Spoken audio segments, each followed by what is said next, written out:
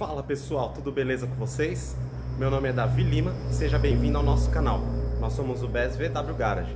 Hoje nós vamos trazer para vocês já as nossas primeiras peças que chegaram e eu vou mostrar para vocês tudo em detalhes, beleza? Mas antes eu gostaria de pedir para você que se inscreva no nosso canal, deixa aquele like aí no vídeo se você gostar do vídeo, beleza?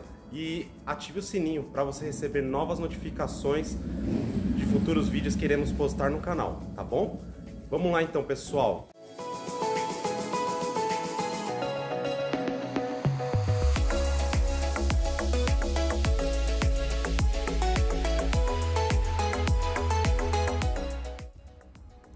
Bom, pessoal, estamos aqui então. Estamos aqui com o nosso gol quadrado. Essa belezura aí que vai entrar no projeto. E já começamos a receber as primeiras peças. Está vendo aí?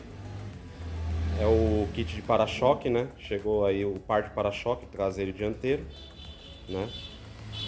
Que infelizmente no, no nosso para-choque original do carro não vai dar para fazer nada, ele já está bem deteriorado, já tá, tem bastante pontos de quebrado, já foi pintado outras vezes, então é, não dá, esse, esse para-choque não dá, então compramos um para-choque novo, um kit de para-choque novo.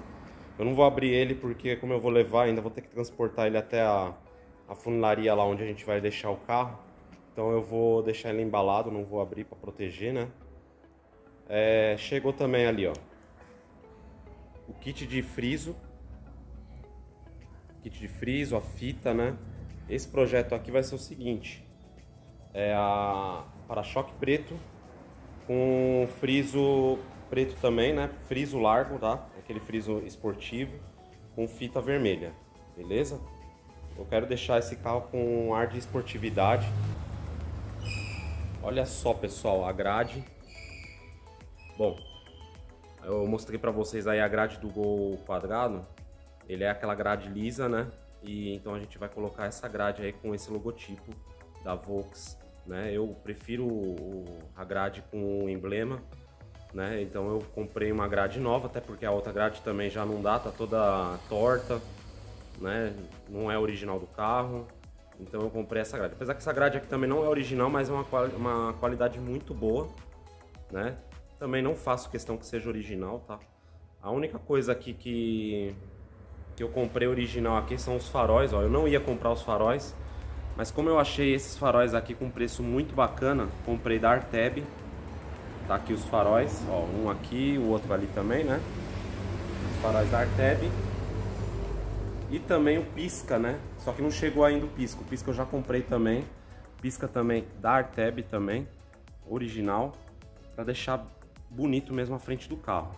Para chamar a atenção mesmo, o carro ficar é, com cara de novo, né? Então nós vamos colocar aí tudo original, no, no caso dos faróis, até porque a qualidade é melhor também no, no que se refere a farol.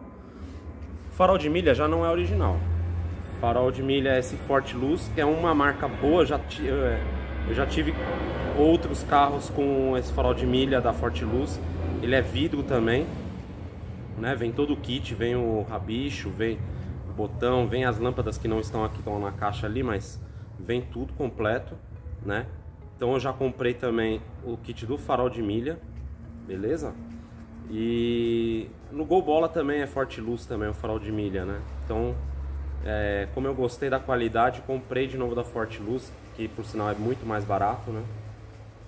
Então tá aqui os faróis de milha da Forte Luz. Temos aqui, ó, as lanternas. Essas lanternas não são originais, tá?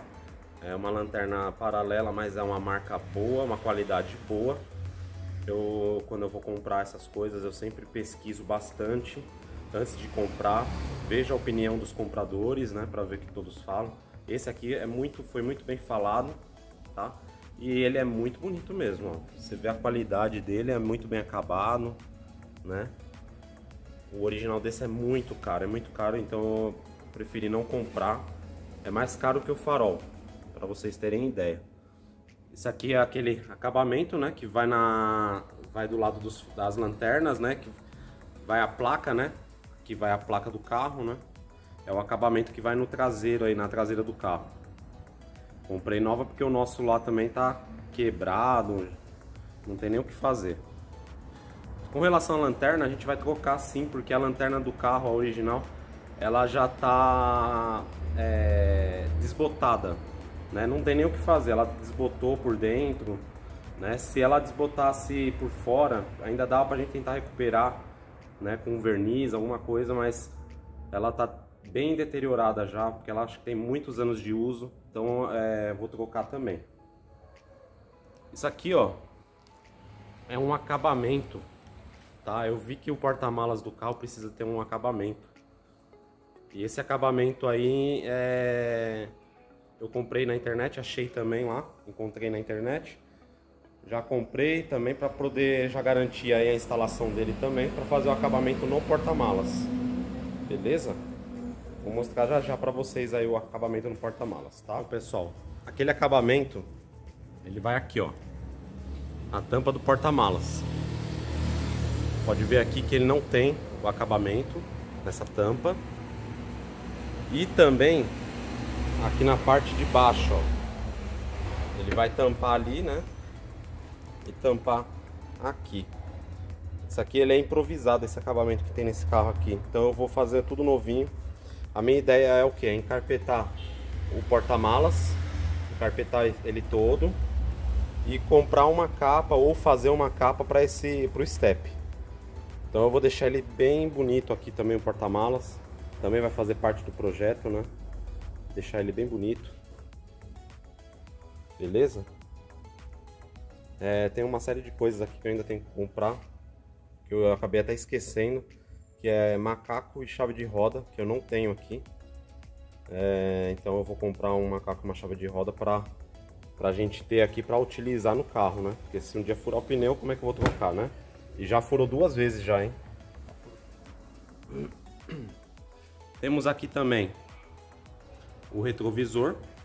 Eu não ia comprar o retrovisor, mas como eu reparei que o retrovisor original do carro ele é diferente o retrovisor original desse carro, ele é bem mais simples. Ele tem um formato meio, meio esquisito. E esse retrovisor aqui é aquele formato tradicional mesmo que você costuma ver aí nos carros, nos gols, né, ó. Ele é todo retinho, né, ó. Ao contrário do retrovisor do nosso carro ali, ele, ele é diferente o modelo. Esse modelo aqui é muito mais bonito. Então eu vou trocar ele também, tá, pessoal? Para deixar o carro realmente bonito. É, tem mais algumas coisas aí que eu encomendei. Eu encomendei o. Eu encomendei um kit de, de chave, né?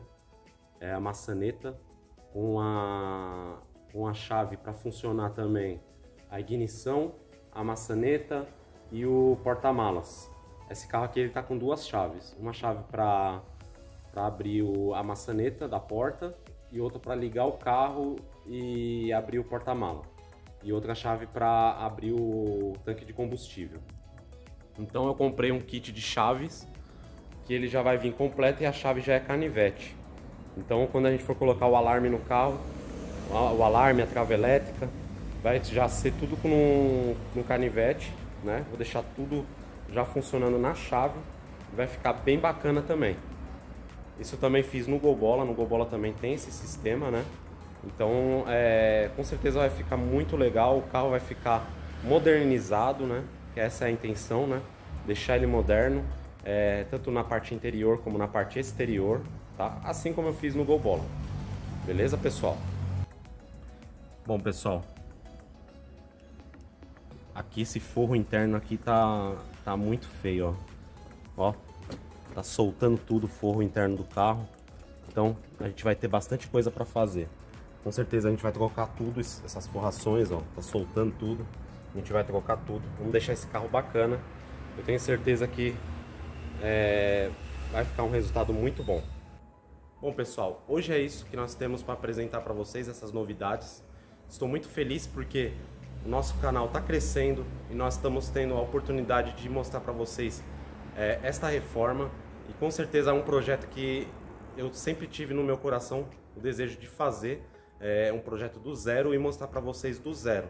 que infelizmente eu não mostrei no, no Gol Bola, não mostrei no Fusca, mas eu vou mostrar nesse carro aqui e vamos todos juntos acompanhar esse projeto do Gol Quadrado, beleza pessoal?